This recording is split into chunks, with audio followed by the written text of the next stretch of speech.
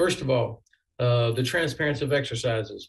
I, I, have had Russian inspectors and observers. Uh, I've had observers from Belarus crawling through our barracks on our exercises for years. This is this is not new. This is permitted.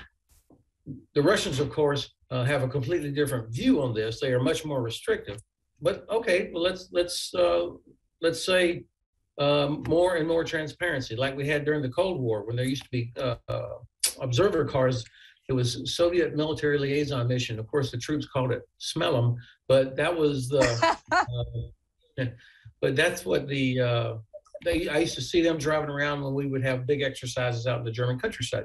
Let's do that. Reinvigorate that. Uh, I loved it when Russians would come see what we're doing because then they could see like, holy hell, these guys are really good.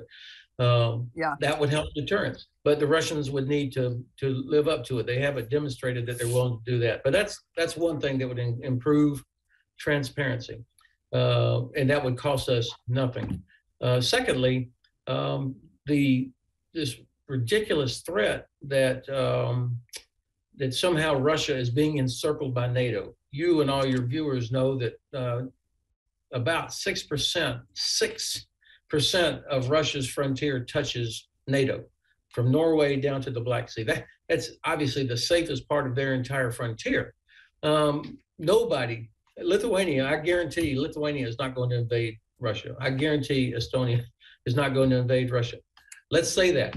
Let's let's uh, create some opportunity, and uh, and everybody sign something that says we will not invade Russia.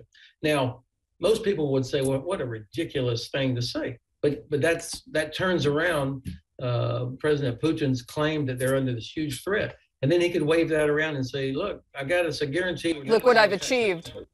Right. And then, okay, good. Take your guys and go home.